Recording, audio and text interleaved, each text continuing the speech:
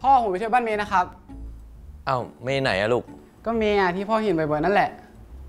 อ๋อเออเออเออเดี๋ยวเดี๋ยวเดี๋ยวมามามานั่งคุยกันกับลูก เออ อย่าลืมพกถุงยางไปด้วยนะลูก เฮ้ย พ่อพูดอะไรเนี่ย ผมกับเมย์เขาเพิ่ง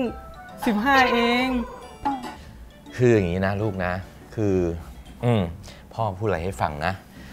อะไรอะไรอะมันก็เกิดขึ้นได้นะลูก และการพกถุงยางอะมันไม่ใช่เรื่องน่าอายอะไรหรอก อืม แล้วเวลาถึงเวลาเขาจริง ๆ นะ เดี๋ยวลูกก็จะรู้เองว่ามันมีประโยชน์ขนาดไหน อืม ที่พ่อพูดก็มีเหตุผล อืม โอเคครับ ว่าแต่ที่พ่อบอกว่าสมัยหนุ่มๆนี่ก็แปลว่า อืมนี่เลยลูกมองอะไร